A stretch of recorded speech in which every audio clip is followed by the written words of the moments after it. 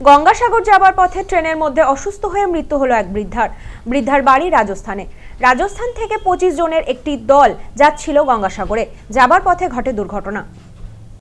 গঙ্গাসাগর যাবার পথে মৃত্যু হলো এক বৃদ্ধার। মৃতার নাম সারজ শর্মা। আশি বছরের বৃদ্ধার বাড়ি রাজস্থানের দৌলতপুর এলাকায়। মৃতার পরিবার সূত্রে জানা গেছে, গত তেসরা জানুয়ারি দৌলতপুর থেকে পঁচিশ জনের একটি দল গঙ্গাসাগরের উদ্দেশ্যে রওনা দেয়।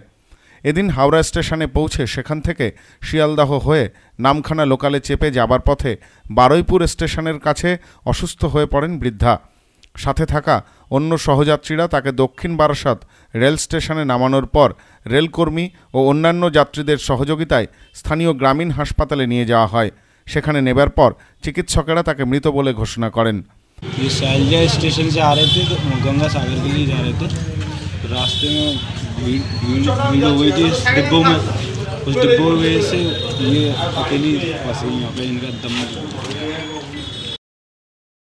খবর পেয়ে এদিন ঘটনাস্থলে পৌঁছান স্থানীয় বিধায়ক জেলা পরিষদের সদস্য ও থানার আইসি মৃতদেহের দ্রুত ময়নাতদন্ত করিয়ে মৃতদেহ রাজস্থানে ফেরত পাঠানোর পাশাপাশি অন্যান্য সহযাত্রীদের থাকা খাওয়ার ব্যবস্থাও করা হয় প্রশাসনের পক্ষ থেকে तो उसमें भीड़ चढ़ गई थी। तो भीड़ चढ़ गई थी। हम तो लेडीज़ डिब्बा में तो उन्होंने जो कह दी यहाँ से भागो आप जेंट्स हो तो जेंट्स वाले डिब्बे में बैठो। तो हम क्या अपनी लेडियों को छोड़ के वहाँ पे सारी हम जेंट्स वाले डिब्बे में आ गए। तो वहाँ पता नहीं क्या हुआ इनका जीव घुट घुटा गया। मतलब घुटन होने लगी उनको। और फिर हमने जो कि कि जैसे दूसरा स्टेशन आया हम उतरे और इनको दिखाने के लिए ले गए। तो दिखाने के लिए ले गए तो और एक हॉस्पिटल बंद था। फिर उन्होंने एक दूसरे ने देखी एक नर्स था वो। उन्होंने देखी कि इनका ये अब नहीं है।